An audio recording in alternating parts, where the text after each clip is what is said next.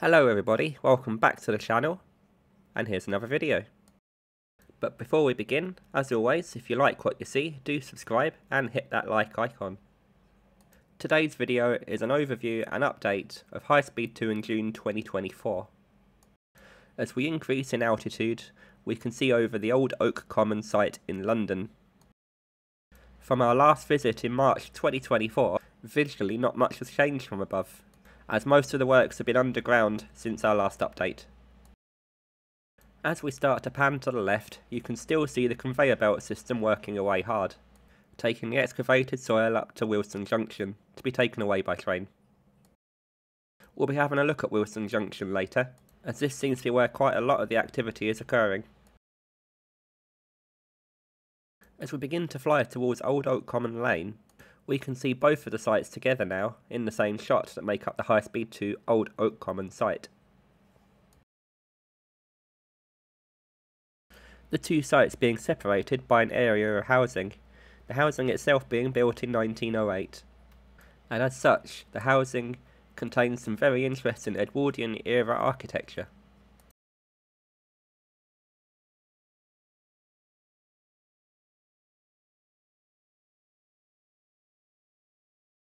Panning back around, we turn to look at the Old Oak Common High Speed 2 prefab offices, where you'd assume a lot of the mental heavy lifting occurs.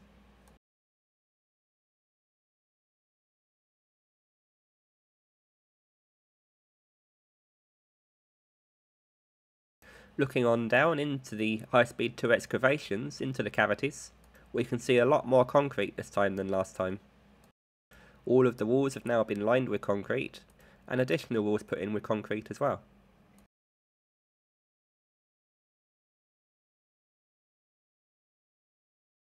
Being careful to clear the cranes above their altitude, we'll have a look further down into those.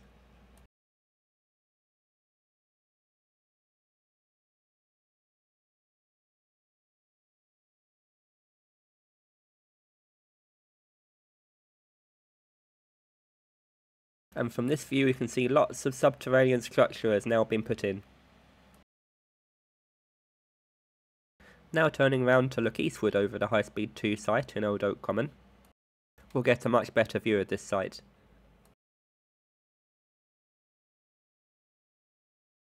Flying over again towards the east, making sure that we do clear those cranes, we'll take a careful look into the works that have progressed this way so far.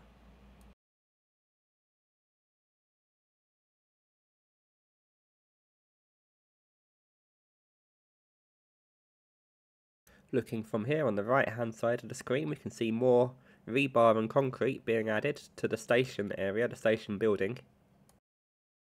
And also more rebar being added down where the platforms are as well. Looking down we start to see shapes resembling platforms. As we start to see the features of a station being added. Again at the top of this picture we can see three square holes all of the same size. These are most likely for the lift shafts to be going in here. Also looking down into these cavities we can see quite clearly that there's a track level, a mezzanine level, and then a ground level. And these levels seem to run up and down the entirety of the High Speed 2 station.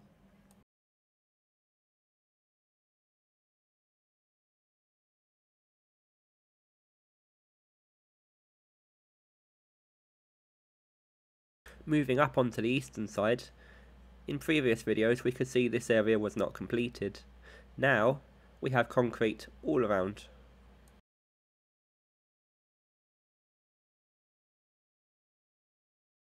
As we fly up eastwards towards the more in question part of High Speed 2, there are questions of what is and what isn't exactly funded.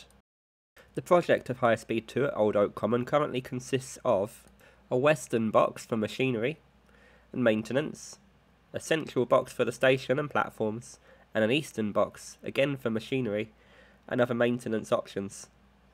So the station itself, in the station box and the western box, are all definitely required. However, with the questions above the Euston end of High Speed 2 even being commenced, it does leave the question hanging. So to remedy this for now, High Speed 2 is currently funded to complete the eastern box, and that also includes an access tunnel of 6 metres in diameter, also to allow further works to commence. The plan now is to drop two tunnel boring machines into this eastern box, in anticipation of the project being given the green light.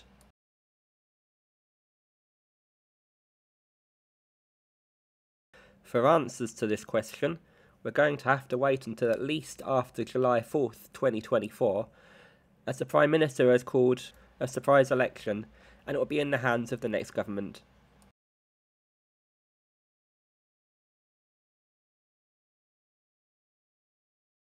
And now as we pan up, we can see in the direction of London's city centre.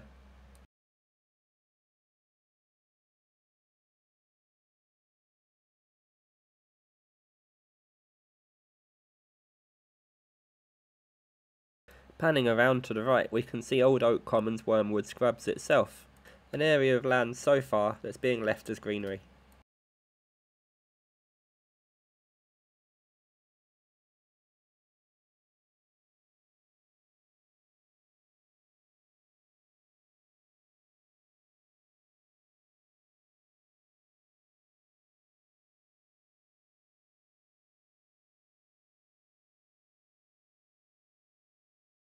Panning up, we can see the extent of the whole of the High Speed 2 Old Oak Common area, along with the Great Western Hitachi depot on the left and the Elizabeth Crossrail depot on the right. And now as we pan down, we're preparing for a trip back up High Speed 2 in the westbound direction of Old Oak Common to have a look from the other direction.